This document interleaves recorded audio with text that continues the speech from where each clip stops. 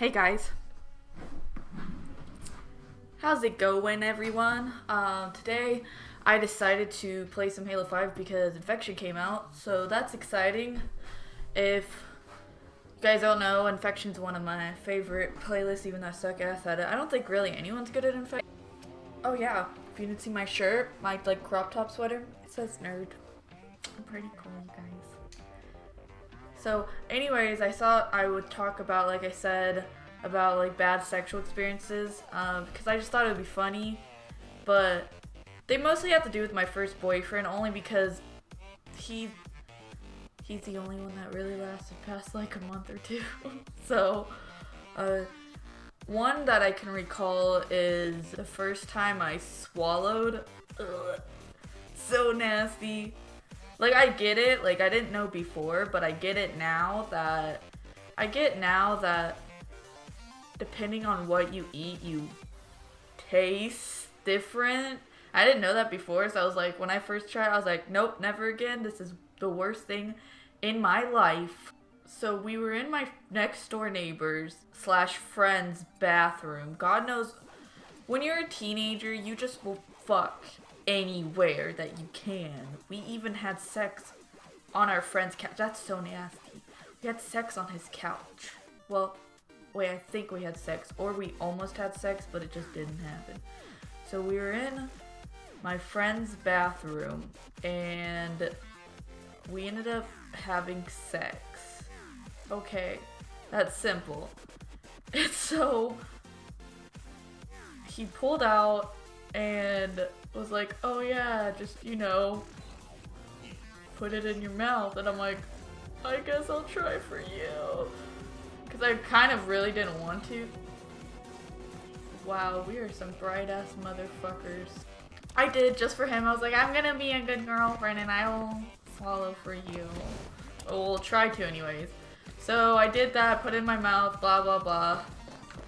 And so I ended up, you know, swallowing and it was the nastiest thing I've ever tasted in my whole I think I'd rather eat asshole. I'd rather lick an asshole honestly.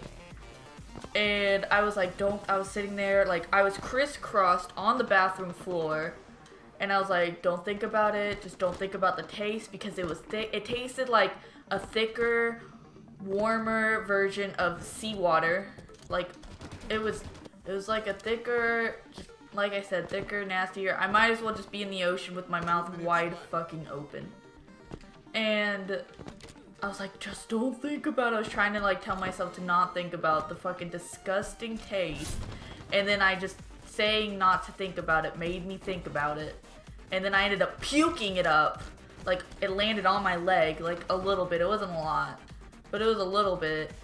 It was honestly ugh. And the thing is with him that I never really understood, no matter what fucked up things happen while we we're having sex, he never managed to get soft. He always kept a boner. Okay, that was satisfying. No, wait, nope. I'm sorry for teabagging your friend. Oh, shit. Nope. I'm sorry! Okay. But he always managed to keep a boner no matter, like, even me just throwing up on myself. And you know what he did after I threw up on myself? he laid me back down and we started having sex again. I don't even know, like, how that, after, like, that. This was actually at the end of our relationship. And this is at the point where I'm just like, fuck this guy. I hate him. Get wrecked. Get wrecked. Bitch. Wait, I got that? Yeah, that was mine, right? Why do you get those weapons in the... Okay. We were... He drove into the woods sounds like some murderous hillbilly backwoods shit. Well, he drove into the woods. We ended up having sex in his car. First, I don't know how he ended up doing it, but he like thrusted a, a certain way or something. I don't fucking know. And he hurt me. Like he actually hurt me really bad. And I ended up, I started crying. I'm laying there on the seat. He's on top of me. And I'm just like bawling my eyes out because it he fucking hurt me. Like, it hurts so bad.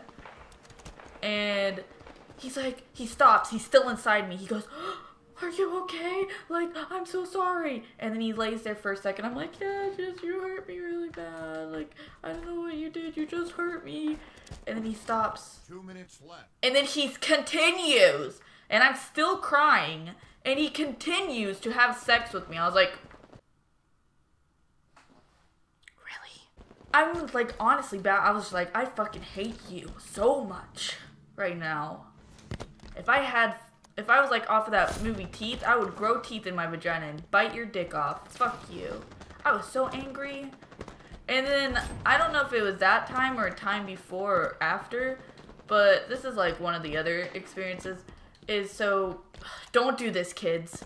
He decided to come inside me, and God knows why. I didn't get pregnant or anything. Thank God. I was like one of the lucky ones. I didn't get pregnant.